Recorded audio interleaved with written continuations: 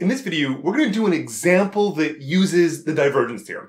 I had introduced the divergence theorem in the previous video in my vector calculus playlist. The link to that is down in the description. And in this video, we're going to do a concrete example of it. So let's first recall what the divergence theorem said. It was talking about a scenario where we had some closed, smooth surface. And we were asking the question, well, what is the flux out of that surface by some vector field? That is the left-hand side, the surface integral of f dot n gives the outward flux. And then what was so powerful about the divergence theorem was that we could relate that to integrating a triple integral over the entire volume that was enclosed by the surface of the divergence, del dot f. So in the specific example we've talked about, I have some field here. The field has components x, y, z in each of the three components. And then I'm trying to figure out what is the outward flux across the unit cube. So drawing my axes, what I mean by the unit cube is that it is a cube going from 0 to 1 in all three axes. Something like that. So this is 0 and 1 and 1 and so forth. Now, I could, if I wanted to, compute the flux across the surface without the divergence theorem. This surface has six sides, and so the flux across the surface will be the sum of six different integrals, and each of those I could do. And actually, it's a decent exercise for you to pause and try to do, particularly because three of the sides are going to be zero given the field that I have. It's not so bad. But in this video, we're not going to compute the flux directly. We're going to go and use the divergence theorem, which instead of having six different surface integrals for the six sides, we're going to have one integral that's going to be very easy to compute. So I'm going to use the right side of the divergence theorem. So giving myself a bit more space, the first thing I need to do is compute the divergence of f. So this is the sum of the partial respect to x of the first component, partial respect to y of the second component, and the partial respect to z of the third component.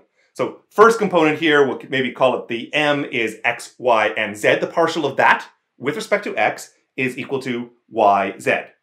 Then I'm going to take the partial of the second component, which we often call n, partial of that with respect to y, which is going to leave me with an x, z.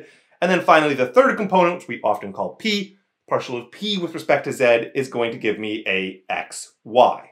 And so what I'm interested in computing then is the triple integral of this divergence. So I'll just copy and paste y, z plus x, z plus x, y. I'll put that in brackets. And then I'm going to do an integral with respect to volume, a little dx, dy, dz. In more complicated examples, maybe you're going to care about which order the, the dv you do. Is it dx, dy, dz, or some other permutation? And if the region was easier to describe in terms of the limits one way or the other, you might have a preference. But in here, it's the unit cube. So x is going between 0 and 1, y is going between 0 and 1, and z is going between 0 and 1. That's all I have. And by the divergence theorem, this entire thing better be equal to that surface integral, the f dot n d sigma. That is the flux across the cube. Okay, so let's go and try to actually do this computation now. It shouldn't be so bad for us. Well, first I'm going to do the integral with respect to x, so I'll leave the outer two integrals up, 0 to 1 and 0 to 1. The first term is yz. It integrates to yz times x, between 0 and 1 is just going to give me y times z. There is an x in the second term, so it integrates to x squared over 2 times z, and then evaluated between 0 and 1 is just going to give me z divided by 2. And likewise for the third term here, I have an x, it's going to integrate to x squared over 2, multiplied by the y, evaluated to 0 and 1, I just get that half, so plus a y divided by 2. And then I've already integrated out the dx, so I just have a dy dz remaining. Let's do the next most inner integral. So I have just the outside one remaining here. So y now is when it's being integrated. So integral with respect to y. So the integral of yz becomes y squared over 2 times z. Plug in 0 and 1 into that, and I'm going to get z divided by 2. Then a z divided by 2 integrates to z divided by 2 times y. Plug in the 0 and 1, I just get z divided by 2. And then the final term is y over 2 integrates to y squared over 4 plug in the 0 and the 1, and I'm going to get a 1 quarter. And then all of this is integrated with respect to z, and we're going to get our final answer very shortly here. So z over 2 goes to z squared over 4, so that's going to give me a value of a quarter when I plug in the limits. Same thing, I have another quarter, and a final quarter, and my final answer here is 3 quarters.